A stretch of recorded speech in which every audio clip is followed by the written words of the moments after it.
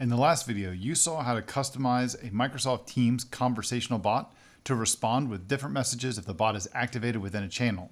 Now in this video, you're going to see how to customize that same bot to respond with an adaptive card when activated, as well as update existing messages and handle message reactions. So in this section, what we're going to do is we're now going to update the bot to respond to unknown messages with an adaptive card. So the card's single action is going to trigger the bot to update the existing message with a new adaptive card. The updated message will include additional an additional action that'll trigger the bot to delete the message. So inside of our existing bot that you see right here, uh, we're gonna I want to go through and add in a little bit of code. So let's go find our constructor where everything's happening. And I want to check for the else statement right here. So you see this else statement that we have. Let's go through and let's change this entire bit of code that you see here.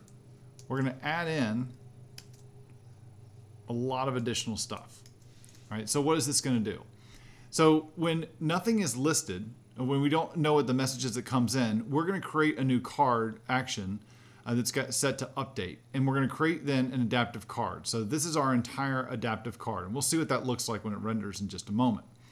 We're then going to send the card back to Microsoft Teams. Now, before we do this, I want to I want to take a look at one thing here. Notice that we've created this value object where it has two properties, a card action and account. If you take a look at our adaptive card, notice that in the action section, we have a data property that is being set to this value, and that's going to be sent back and forth. Uh, it's going to update the adaptive card when it sends it to Microsoft Teams for rendering, and then when we submit the card back to the bot framework, we're going to get that value object back. Now, the next thing we're going to need to do is I'm going to need to add in a couple other uh, method handlers here. I'll explain what these are after we add them in. Now let's take a look at these two handlers that we just added.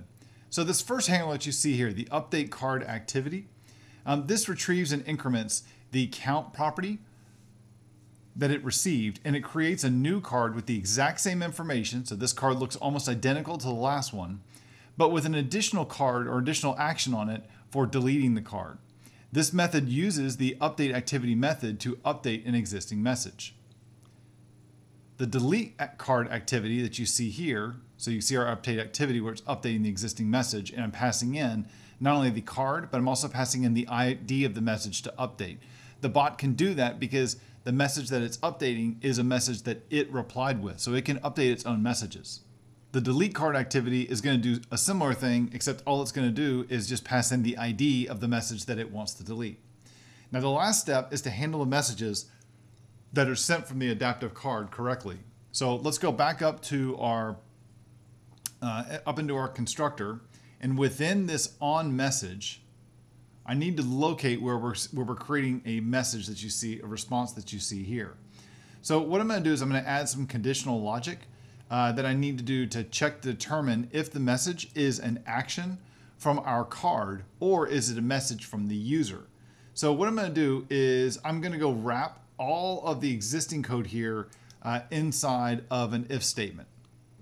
And so what you can see here is we're going to do a check and if we if a certain property exists, then we want to we want to work with our new card that we've created. Otherwise, just go do all the all the um, additional stuff that you are already doing. All right.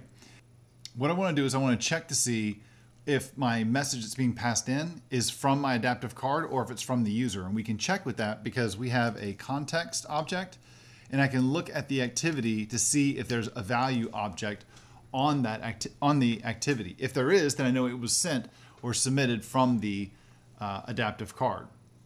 And then what we want to do is I want to insert the logic in here if we are coming from our adaptive card. So all that you see here is that we're doing a new switch statement that says if it's an update event that's being passed in or update action from our card being passed in, we'll call the update card activity. If it's a delete, then we'll call our delete card activity. So let's take this uh, for a run. And let's see how this works. So everything is working. We just have a couple little linting errors, which we don't really care about. Um, and let's come back over here to the browser and let's come uh, just off the tab and let's actually do this in a one-to-one -one chat.